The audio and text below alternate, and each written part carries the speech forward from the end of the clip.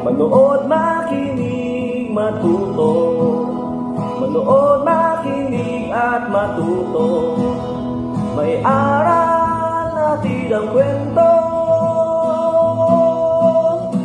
Ng bayan ko Magandang araw! Isang bagong paglalakbay na naman mula sa kaban ng mga kwento ng bayan ko ang ating pagsasaluhan ngayon.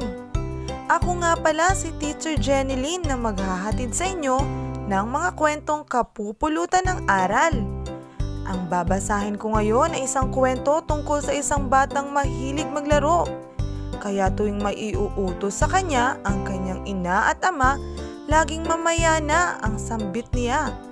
Ito ay pinamagatang si Maya Mamayana na isinulat ni Wilfred Joy F. Jago ng Division of Bulacan at iginuhit naman ni Timothy M. Bagang ng parehong dibisyon. Binigyang buhay naman ito sa anyo ng audiobook ng inyong lingkod at ng kanyang mga kapatid. Handa na ba kayong maglakbay sa kaba ng mga kwento ng bayan ko? Halina't makinig! Ang batang si Maya tuwing gigising ay tanghali na. Kapag tinawag ni ina, mamaya na ang tuwinang sagot niya. Naghilamos ka na ba, Maya? Tanong ni ina. Mamaya na ina, ako nanonood pa. Naiinis pang wika ni Maya.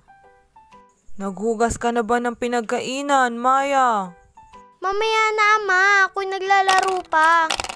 Sagot niya kay ama. Maya, nagwalis ka na ba sa sala? Tanong muli ni ina. Mamaya na, ina, nandiyan na si Mimi at Minda. Itong batang si Maya tuwing uutusan, laging sagot ay mamaya na at walang gawain siyang nasisimulan o natatapos sa tuwina. Minsan, isang umaga, pagising ni Maya, Himala, walang utos o tanong sina ina at ama. pagtataka niya, kaya paglabas ng silid, Ina, may almusal na po. wala pa Maya, mamaya na ako magluluto at ako'y nagwawalis pa. Ama, nandiyan na po si Minda at kami maglalaro na. Mamaya ka na maglaro, Maya, at ako'y may kukumpunihin pa.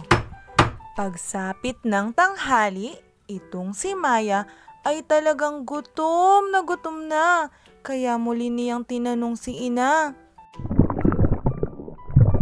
Ina, may pagkain na po ba? Nanlalatang tanong ni Maya. Wala pa Maya, mamaya ka na kumain at ako'y naglalaba pa. Wika ni ina.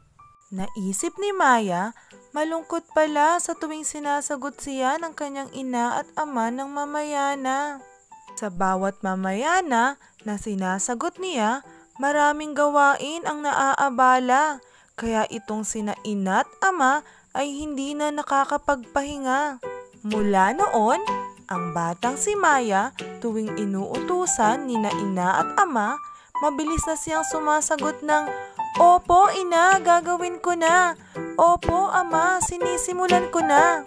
Ang salitang mamaya na, kailanman ay hindi na niya ginamit kay ina at ama. Muli, ako si Binibining Jeneline B. Eda mula sa dibisyon ng Occidental Mindoro, Mimaropa Region. Ang kaban ng mga kwento ng bayan ko ay mula sa anin ng Bureau of Learning Resources at ng mga Learning Resources Management Section ng Kagawaran ng Edukasyon. Manood, makinig, at matuto.